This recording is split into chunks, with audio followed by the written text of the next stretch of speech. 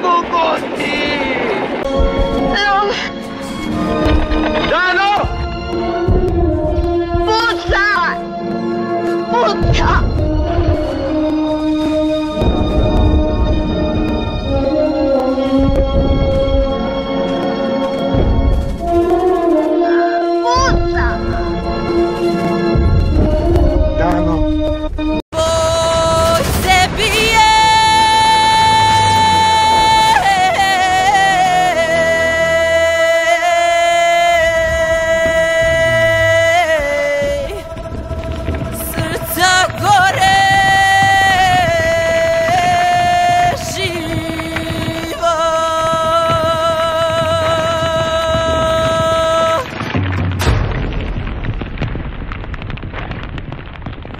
sestra u blistavom oku na gučevu crnu i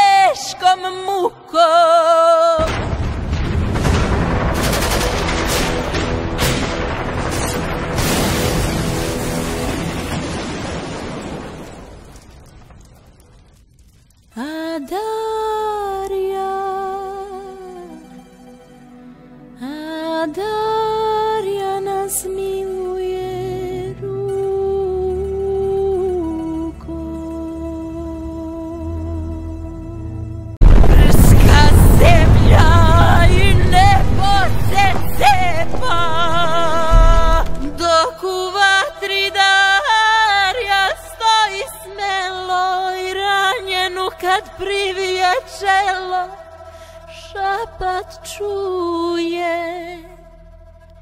Hvala dušo